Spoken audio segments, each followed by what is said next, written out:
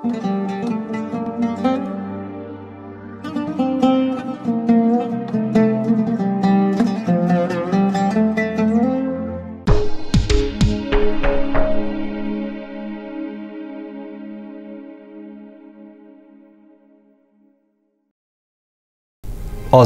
kinosunun zaurundan danışırıq. Biri var, filmimizin yaşayan ən böyük aktyorlarından olan xalq artisti Fəxrəddin Manafov.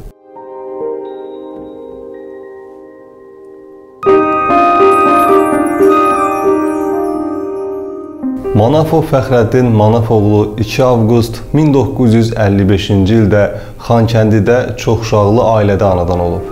Bir müddət sonra isə ailəsi Bakıya köçüb. Uşaqlıqdan futbola böyük marağı olub. Çox yaxşı futbol oynayırmış. Hətta yaxın adamlar, ailə üzvləri onun gələcəkdə futbolçu olacağını düşünürlərmiş. 16 yaşında aktyorlar evində kinomexanik kimi işə düzələn Fəxrəddin bir müddət keçəndən sonra Almaniyaya hərbi xidmətə yola düşür. Xidmətdən qayıdıb sənədlərini Azərbaycan Dövlət İncəsənət İnstitutuna verir. 80-ci ildə oranı başa vurub aktyorlar evindəki fəaliyyətini davam etdirir. Orada rejissor Vaqif İbrahimoğlu ilə tanış olan Manafov bir müddət sonra Vaqif İbrahimoğlunun quruluşunda Ac hərflər tamaşasında səhnəyə çıxır. Aktyor müsahibələrinin birində həmin illəri belə xatırlayır. İlk dəfə aktyor evinin foyesində səhnəyə çıxanda o dövrün böyük sənətkarları Mehdi Məmmədov, Şəmsi Bədəlbəylini də orada gördüm. Onların hamısı bilirdi ki, mən orada işləyirəm. Ancaq birdən-birə Vaqifin quruluşunda hazırlanan Ac hərflər tamaşasında səhnəyə çıxdım. Orada bir neçə sözü olan rol ifa eləyirdim. Yadımda deyil, ya Mehdi müəllim, ya da Şəmsi müəllim dedi ki, Fəxrəddinə deyin, səhnədən çıxsın, tamaşa başlayıb.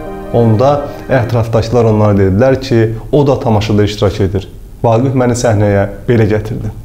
Verilişin bu yerində qeyd eləmək istəyirəm ki, layihə Səhliyalı şirkətinin Min Bərəkət Halal Nemət brendinin maliyyə dəstəyi ilə ərsəyə gətirilib. Siz də ağız dadınıza uyğun və halal ət və ət məhsulları axtarırsınızsa, seçiminiz Min Bərəkət halal nemətin məhsulları olsun. Bir müddət sonra Fəxrəddin Manafov Vaqif İbrahimoğlunun yaratdığı Yol teatrında aktyor kimi fəaliyyət göstərməyə başlayır.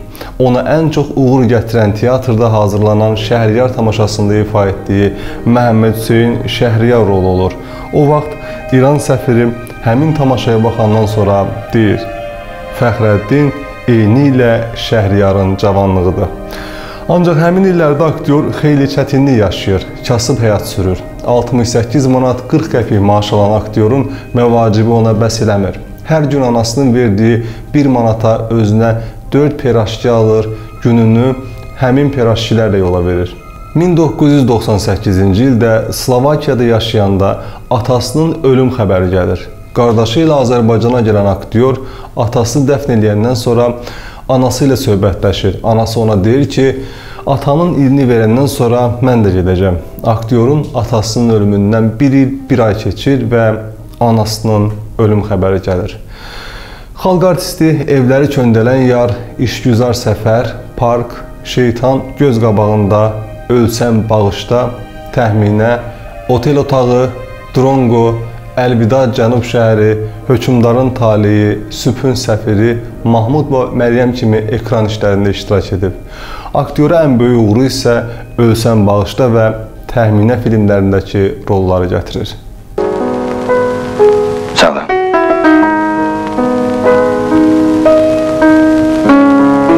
Nədir? Dəli olmusan? Heç başa düşürsən, neynirsən? Mənim ərim var, ailəm var. Mən özgənin arvadıyam, başa düşürsən özgənin. Nazan Dora Burazqov. Mə, məni niyə gözləmədin? Üç il gözlədim səni. Mən sonra deyirəm, davadan sonra. Davadan sonra da gözlədim. Hamı qayıtdı, gəldi. Sağlamı da, şikəsti də bir səndən savayı. Adamı nə qədər gözləyərlər. Buraxmadılar məni. Buraxmadılar. İnanmırsan? Fəxrəddin Manafov gənclik illərində teatrda işləyəndə Vahidə adlı xanımla tanış olur. Vahidə xanım da həmin teatrda aktrisa kimi fəaliyyət göstərir. Sonradan məşhur diktora çevrilən Vahidə xanımla Fəxrəddin Manafov ailə həyatı qururlar. Onların heç vaxt övladı olmur. Vahidə xanım dəfələrlə aktyora başqa qadınla evlənməyi təklif etsə də, xalq artisti xanımının bu istəyini qətiyyətlə rədd edir. Bir-birlərinə böyük məhəbbəti olan cütlüyün bu sevgisi illərlə davam edir. Fəxrəddin Manafov xanımı haqqında müsahibələrinin birində deyir.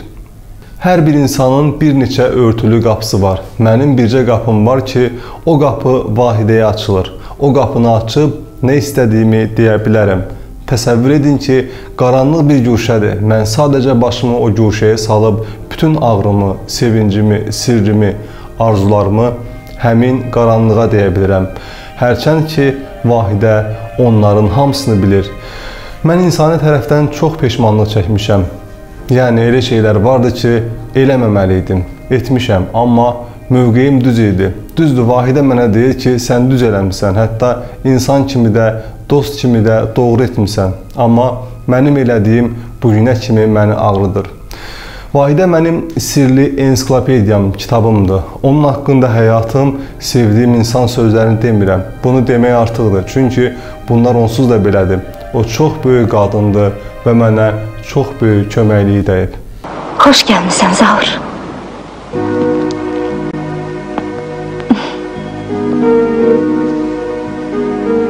Yaxşı ki gəldin Zaur. Allah yetirdi səni bu axşam. Ürəyim elə sıxılırdı ki. Bəs niyə mənə zəng eləmirdin? Niyə axı bütün bu işlərdən mənim xəbərim olmasın? Bəlkə mənim də sənə bir köməyim dəyərdi. Elə işlər var ki, adam gərək özü eləyə. Təkcə özü. Heç kəsi qatıb qatışdırmaya. Mən çoxdandır bu zülmdən qutarmaq istəyirdim. Neçə ildə əzab çəkirdim. Əsəblərim lap pozulub. Bugün səhər içmək istədim, amma qorxdum. Məhkəmədə hiss eləyərlər, işi təxirə salarlar. Evə çatan gün mədniyə dedim, gəl içək. Üçüncü qədəhi də sənin üçün qoydum. Hərdən bilirdin ki, mən gələcəm. Heç nə bilmirdim. Elə belə. İnanmırsan? İnan mənə Zaur.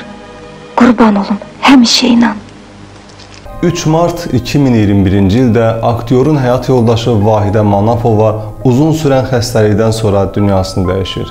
Bu itki xalq artisti üçün ağır olur. O müsahibələrinin birində deyir: "Mənim ən yaxınım böyük ağrı ilə deyirəm ki, dünyasını dəyişdi. Bu həyat yoldaşım Vahidə xanım idi.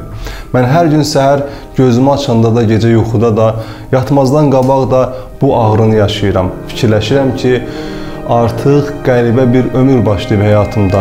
Mən hətta ən yaxınlarıma, atama və anama belə demədiklərimi Vahidəyə deyirdim, amma artıq bu gün bunları deyə biləcək kimsəm yoxdur.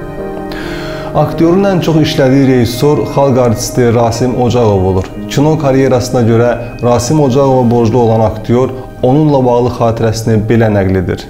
Rasim müəllim otel otağı filmini çəkəndə məni çağırdı. Bakıya uça-uça gəldim. Hətta qardaşım Marat da gülə-gülə mənə baxıb dedi ki, nə tez məni atıb getdin. Ancaq üstündən bu qədər vaxt keçəndən sonra Rasim müəllim məni çağırmışsa deməli, mən lazım idim. Amma yenə deyirəm ki, bir balaca təkəbbürlü idim. Yaxşı yaşayırdım, geyinirdim, gəzirdim, xasiyyətim bir balaca dəyişmişdi. Beləliklə gəldim, çəkilişlər başladı. Filmdə universitetin qapısında sadə bir səhnə çəkilirdi. Bu səhnədə Vaqif İbrahimoğlu da çəkilirdi. Mən də universitetin qarşısında siqaret çəkə-çəkə onu gözləyirdim. Vaqif mənə yaxınlaşanda siqaretin kötüyünü atıb ayağa qalxmalıydım. Rasim müəllim mənə izah etdi ki, siqaretin kötüyünü dalğın, fikirli formada atım. Razılaşmadım. Nə fərqi var dedim. Mübahisə yarandı. Çox pis əsəbləşdi. Onda bir anlıq sarsıldım. Ayıldım və öz-özümə dedim ki, Fəxrəddin, axı sən kimsən ki, bu boyda insanı belə hala çatdırırsan? Ondan sonra Bilmədim onu qucaqlayım ya üzr istəyim ki, könlünü ala bilim. Qucaqladım, dedim Rasim müəllim, qurban olum. Hər şey qaydasındadır və dərhal da çəkilişə başladıq. Rüstəm İbrahimbəyov Qafqaz üçlü filmi çəkəndən sonra ondan üz döndərən, onun rəhbərlik etdiyi qurumdan çıxan və filmə etiraz edən şəxslərdən biri də Fəxrəddin Manafov olmuşdu. Azərbaycan Kino İttifaqı, yəni o ittifaqı mən Bəli. nəzərdə tuturam. Belə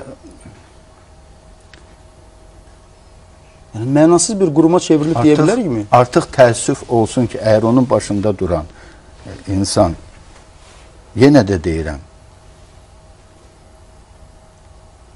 inanılmaz, mənim üçün inanılmazdır ki ağlıma sığışdıra bilmirəm ki, bu adam öz xalqına qarşı bilərəkdən belə bir film çəksin. Fəxrəddin Manafov 1987-ci ildə Azərbaycan SSR-nin əməkdar artisti, 2000-ci ildə isə Azərbaycanın xalq artisti fəxri adlarına layiq görülüb. 2006-cı ildən Azərbaycan Respublikası prezidentinin fərdi təqaüdçüsüdür. Qocaman aktyora can sağlığı və yeni möhtəşəm obrazlar arzu edir.